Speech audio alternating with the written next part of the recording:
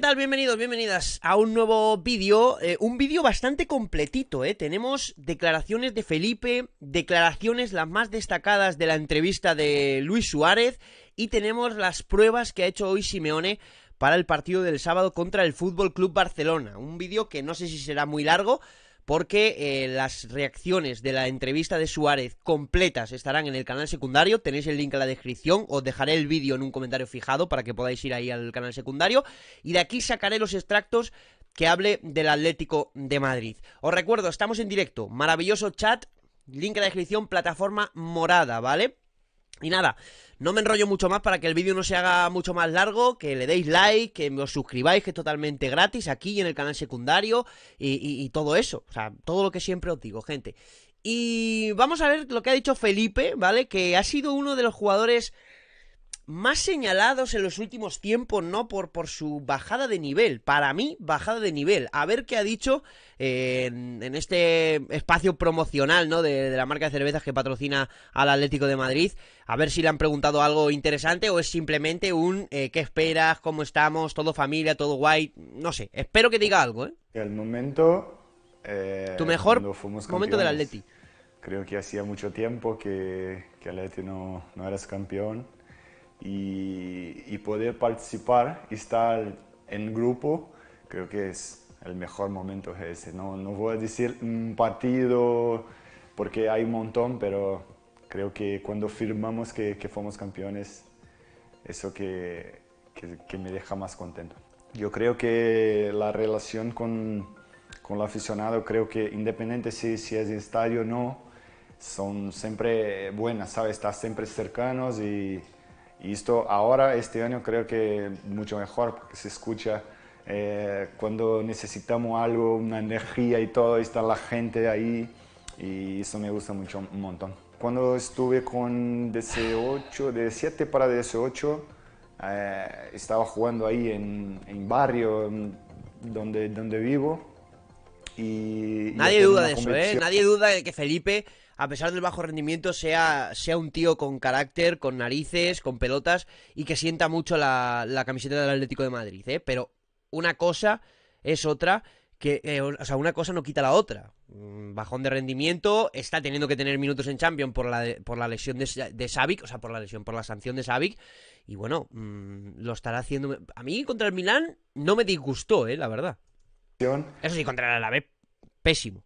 Y lo, lo mister ahí que siempre estaba, que me llamaba tal para jugar, ha dicho, mira, querés jugar esta competición, pero no eres profesional, nada, era de barrio y todo. Y yo, sí, sí, quiero jugar, pero creo que no tiene, no tiene sitio para donde voy, porque tiene delantero, tiene volante, ¿dónde voy de portero? Y él, no, tiene de central. Y yo, vale, me pone de central entonces.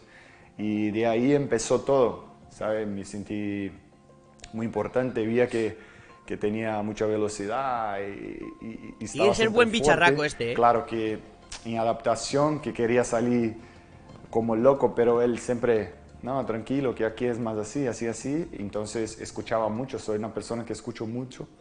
Entonces eso creo que para crecer eh, ayudó mucho. Entonces hoy soy central. Eh, por ahí. Nosotros sabemos que ganar siempre es muy importante. Porque ahí te da confianza. Obviamente. Eh, los que entran, los que salen, también están siempre eh, dispuestos a, jugar o lo que sea de 5 minutos o 90, lo que sea. Y... Se le, ve, se le, ve, de todas formas un tipo comprometido con la causa, ¿eh? no solo por lo del año pasado, sino en general también este año, ¿eh? desde que vino. ¿eh? Y la victoria fue importantísimo porque nosotros sabíamos que ser un, un aniversario muy duro, pero menos mal que, que, la victoria fue, fue muy importante. Y nosotros eh, sabemos que jugamos partido a partido. Eh, eh, Ojo, habla del Barça ya, ¿eh? sabemos que son distintas competiciones, pero es un adversario muy duro. nosotros sabemos que, que tenemos que estudiar como todos los partidos hacemos, eh, la preparación, eh, dormir, comida, todo eso eh, es muy importante porque sabemos que cuando necesitamos eh, la gente está ahí, ¿sabes? Con Hombre. energía. Eh, No sé qué ha pasado. No sé por qué se ha puesto esto en pantalla completa. YouTube me va loco, y, eh. Y empezamos por hoy. Está claro, está claro que sí, ¿eh? la gente siempre va a estar con vosotros, está claro. Bueno, hablando del Barça que hablaba Felipe, dice, ¿piensa Simeone en el tridente para medirse al Barça? El Atlético de Madrid comenzó a preparar el choque ante el Barça de este sábado en el Metropolitano. Primeras pruebas tácticas de cada partido, en la que dejó algunas pistas, ¿eh? Ojo, que me gusta esto de las pistas, ¿eh? El equipo de Simeone eh, tuvo un día de descanso tras el ganar al Milan en Liga de Campeones, regresó a los entrenamientos eh, este jueves, pero eh, primera sesión ante el duelo contra el equipo catalán, ¿eh? Y entre las cuestiones a dilucidar, o sea, las dudas estaban la salud de Kieran Trippier, que eso a mí me dejó bastante tocado, pero me dejó bastante tocado en el sentido de, de preocupado, ¿no? Pero al no haber parte médico, gente, al no haber parte médico, os digo que mm, a lo mejor eh, solo fue por precaución y que no es tan grave como podíamos, como podíamos creer. Así os lo digo, ¿eh? Así os lo digo, ¿eh? Y sobre todo, eh, en la prueba táctica, si pudiera dar para comenzar, ver qué equipo ponía Simeone, ¿eh? Eh, menos de un 11, ¿eh? el Cholo le estaría dando vueltas a la idea de poner en juego tanto a Grisman como a Suárez y Joao. Veremos si se cumple. En ese sentido, habrá que esperar. Pero en el trabajo eh, táctico reunió a varios jugadores sin llegar a hacer un 11. Fueron Hermoso Jiménez, Coque, De Paul, Lemar, Gris. Mira, mira, mira, mira qué plan. Pero es que imaginaos qué plantilla, loco. De Paul, Lemar, Grisman, Joao Félix, Luis Suárez. Coque, De Paul, Grisman, Joao Félix y Luis Suárez. Ostras.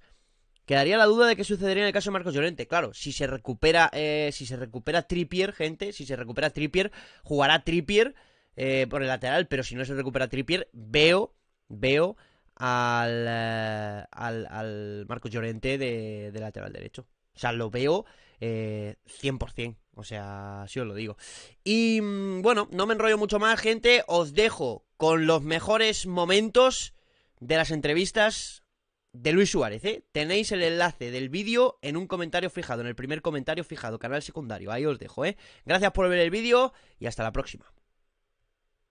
¿En el karma crees? Ojo. Sí. Oh. Esta vez te está dando la razón, quizá.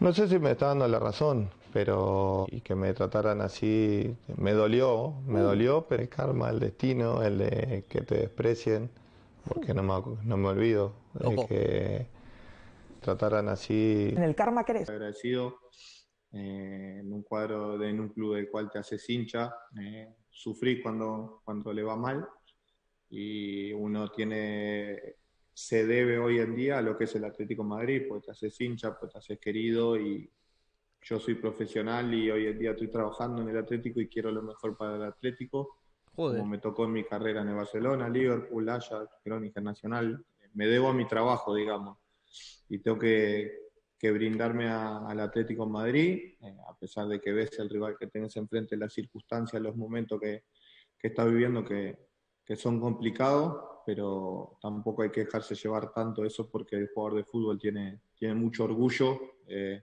tiene que sacar su carácter, su rebeldía en estos momentos los jugadores aunque es difícil porque son muchas cosas, muchos temas y eso perjudica a la interna también y, bueno, pero no me toca otra que hacer lo mejor para, para que el Atlético gane el sábado. Tito, pasas por al lado de Kuman y le das así, Kuman, maquinón, y ya está, fin. Eso nadie te lo va a criticar. Y si alguien critica eso, es gilipollas, literalmente. Tanta autoridad tenés que tener o haces creer. Eh, un día cuando yo me presento a entrenar me decís, no cuento contigo eh, porque me dijeron de que no queríamos que estés, de que esto, esto y esto. Pero no me digas que no entro en tus planes cuando a falta de cerrar el fichaje por el Atlético de Madrid yo rescindir con el, con el Barcelona, me decís, si no mañana no se cierra, el domingo contra el Villarreal te voy a tener en cuenta.